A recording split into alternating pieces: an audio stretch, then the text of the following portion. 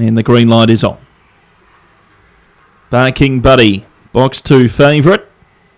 Racing, Barking Buddy away okay. Dodgeball won the start, along with Marks Boy, and Marks Boy crosses to the rails and leads the way from Dodgeball in second. Wildcard Babe had a fall but picked itself up at the tail. Marks Boy into the back lead from Dodgeball, Barking Buddy winding up three lengths Assembly Nitro. Next of all, Profound from Allegro Destini, Dr. Watson and Wildcard Babe tailed off, rounding the turn. Marks Boy in front, Barking Buddy the favourite winds up powerfully now. Marks Boy into the straight, Barking Buddy up alongside, on by. Barking Buddy beat Marks Boy, Dodgeball and Assemble Nitro.